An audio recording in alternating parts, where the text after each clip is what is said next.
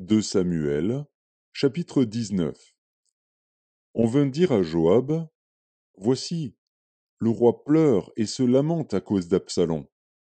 Et la victoire, ce jour-là, fut changée en deuil pour tout le peuple, car en ce jour le peuple entendait dire, Le roi est affligé à cause de son fils. Ce même jour, le peuple rentra dans la ville à la dérobée, comme l'auraient fait des gens honteux d'avoir pris la fuite dans le combat. Le roi s'était couvert le visage, et il criait à haute voix. Mon fils Absalom, Absalom, mon fils, mon fils. Joab entra dans la chambre où était le roi, et dit. Tu couvres aujourd'hui de confusion la face de tous tes serviteurs, qui ont aujourd'hui sauvé ta vie, celle de tes fils et de tes filles, celle de tes femmes et de tes concubines. Tu aimes ceux qui te haïssent et tu hais ceux qui t'aiment, car tu montres aujourd'hui qu'il n'y a pour toi ni chef ni serviteur. Et je vois maintenant que, si Absalom vivait et que nous fussions tous morts en ce jour, cela serait agréable à tes yeux. Lève-toi donc, sors, et parle au cœur de tes serviteurs. Car je jure par l'Éternel que, si tu ne sors pas, il ne restera pas un homme avec toi cette nuit. Et ce sera pour toi pire que tous les malheurs qui te sont arrivés depuis ta jeunesse jusqu'à présent. Alors le roi se leva, et il s'assit à la porte. On fit dire à tout le peuple, Voici, le roi est assis à la porte. Et tout le peuple vint devant le roi. Cependant Israël s'était enfui, chacun dans sa tente. Et dans toutes les tribus d'Israël, tout le peuple était en contestation, disant Le roi nous a délivrés de la main de nos ennemis, c'est lui qui nous a sauvés de la main des Philistins, et maintenant il a dû fuir du pays devant Absalom. Or Absalom, que nous avions oint pour qu'il régnât sur nous, est mort dans la bataille. Pourquoi ne parlez-vous pas de faire revenir le roi? De son côté, le roi David envoya dire aux sacrificateurs Tsadok et Abiatar Parlez aux anciens de Juda, et dites-leur Pourquoi seriez-vous les derniers à ramener le roi dans sa maison? Car ceux qui se disaient dans tout Israël étaient parvenus jusqu'au roi. Vous êtes mes frères, vous êtes mes os et ma chair. Pourquoi seriez-vous les derniers à ramener le roi? Vous direz aussi à Amasa N'es-tu pas mon os et ma chair? Que Dieu me traite dans toute sa rigueur, si tu ne deviens pas devant moi pour toujours chef de l'armée à la place de Joab. David fléchit le cœur de tous ceux de Juda, comme s'ils n'eussent été qu'un seul homme. Et ils envoyèrent dire au roi, Reviens, toi et tous tes serviteurs. Le roi revint et arriva jusqu'au Jourdain. Et Judas se rendit à Gilgal, afin d'aller à la rencontre du roi et de lui faire passer le Jourdain. Chiméi, fils de Guéra, benjamite, qui était de Bachurim, se hâta de descendre avec ceux de Juda à la rencontre du roi David. Il avait avec lui mille hommes de Benjamin et Tsiba, serviteurs de la maison de Saül, et les quinze fils et les vingt serviteurs de Tsiba. Ils passèrent le Jourdain à la vue du roi. Le bateau, mis à la disposition du roi, faisait la traversée pour transporter sa maison. Et au moment où le roi allait passer le Jourdain, Chiméi, fils de Guéra, se prosterna devant lui. Et il dit au roi, Que mon Seigneur ne tienne pas compte de mon iniquité, qu'il oublie que ton serviteur l'a offensé le jour où le roi mon Seigneur sortait de Jérusalem, et que le roi n'y ait point égard. Car ton serviteur reconnaît qu'il a péché. Et voici, je viens aujourd'hui le premier de toute la maison de Joseph à la rencontre du roi mon Seigneur.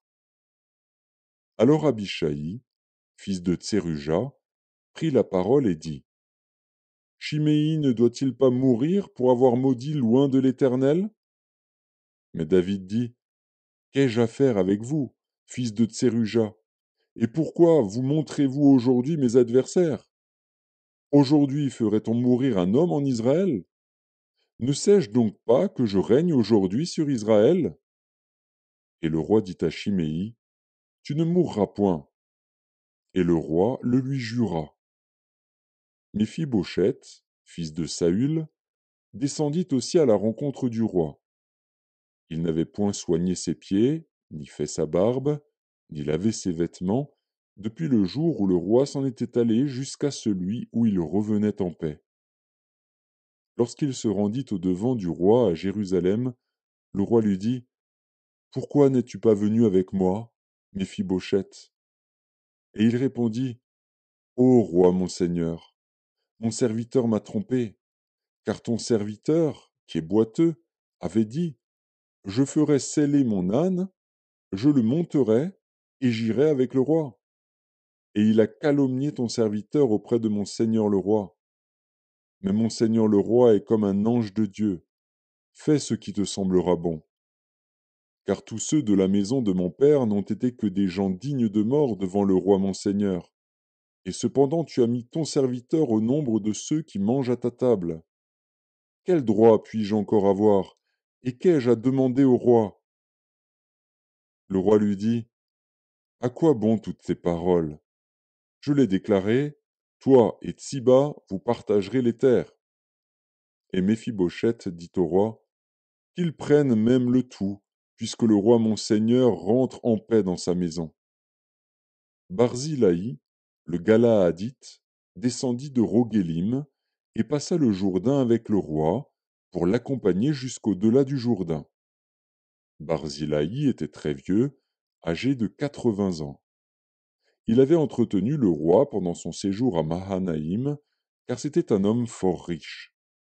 Le roi dit à Barzilaï Viens avec moi, je te nourrirai chez moi à Jérusalem. Mais Barzilaï répondit au roi Combien d'années vivrai-je encore pour que je monte avec le roi à Jérusalem? Je suis aujourd'hui âgé de quatre-vingts ans. Puis-je connaître ce qui est bon et ce qui est mauvais? Ton serviteur peut-il savourer ce qu'il mange et ce qu'il boit? Puis-je encore entendre la voix des chanteurs et des chanteuses? Et pourquoi ton serviteur serait-il encore à charge à mon seigneur le roi? Ton serviteur ira un peu au-delà du Jourdain avec le roi. Pourquoi, d'ailleurs, le roi m'accorderait-il ce bienfait? Que ton serviteur s'en retourne, et que je meure dans ma ville, près du sépulcre de mon père et de ma mère. Mais voici ton serviteur Kimham, qui passera avec le roi mon seigneur, fais pour lui ce que tu trouveras bon. Le roi dit, Que Kimham passe avec moi, et je ferai pour lui ce qui te plaira. Tout ce que tu désireras de moi, je te l'accorderai. Quand tout le peuple eut passé le Jourdain et que le roi l'eut aussi passé, le roi baisa Barzilaï et le bénit. Et Barzilaï retourna dans sa demeure. Le roi se dirigea vers Gilgal, et Kimham l'accompagna. Tout le peuple de Juda et la moitié du peuple d'Israël avaient fait passer le Jourdain au roi. Mais voici, tous les hommes d'Israël abordèrent le roi et lui dirent Pourquoi nos frères, les hommes de Juda, ont-ils enlevé et ont-ils fait passer le Jourdain au roi, à sa maison et à tous les gens de David? Tous les hommes de Juda répondirent aux hommes d'Israël, C'est que le roi nous tient de plus près.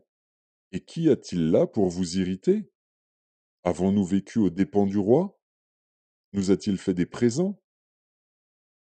Et les hommes d'Israël répondirent aux hommes de Juda, Le roi nous appartient dix fois autant, et David même plus qu'à vous.